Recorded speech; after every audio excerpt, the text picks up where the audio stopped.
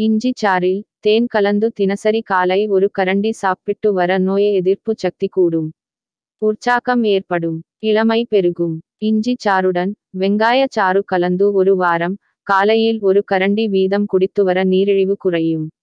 ஒவ்வொரு நாளும் உணவில் ஐந்து கிராம் இஞ்சியை சேர்த்துக் கொள்வது இதய நோயாளிகளுக்கு மாரடைப்பை வராமல் காக்கும் என்கிறது அந்தச் செய்தி. பொதுவாக நாம் அரிசியையே பிரதான உணவாக தினமும் உண்டு வருகிறோம். இப்படி பல ஆண்டு காலம் அரிசியை தினசரி உணவாகக் கொள்பவர்களுக்கு பைப்ரினோலிடிக் செயற்பாடு குன்றி இரத்த குழாய் அடைப்பை கரைக்கும் நடவடிக்கையில் சுணக்கம் ஏற்படுவதை இஞ்சி சரி செய்யும். இஞ்சியானது இதய இரத்தக் குழாய்கள் எதிலும் அடைப்பு உண்டாகாமல் தடுக்கும்.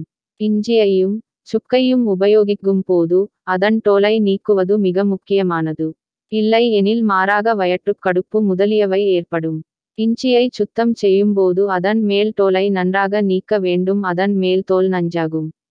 அதேபோல் சுக்கை சுத்தம் செய்யும்போது அதன் மேல் சுண்ணாம்பை தடவி காய வைத்து பின் அதை நெருப்பில் சுட்டு பின் அதன் தோலை நன்கு சீவி எடுக்க வேண்டும்.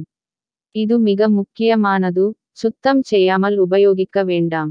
இஞ்சியை சுத்தம் செய்து மேல்தோலை நீக்கிவிட்டு சிறு துண்டுகளாக நறுக்கி நூற்று ஐம்பது கிராம் எடுத்து அத்துடன் சுத்தமான தேனையும் அதே அளவிற்கு சேர்த்து நான்கு நாள் கழித்து தினமும் ஒன்றிரண்டு துண்டுகளாக ஒரு மண்டலத்திற்கு சாப்பிட்டு வந்தால் உடல் ஆரோக்கியம் அடைந்து பித்தம் முழுவதுமாக நீக்கப்பட்டு விடும் ஆயுள் அதிகரிப்பதுடன் முகப்பொலிவும் அழகும் கூடும்.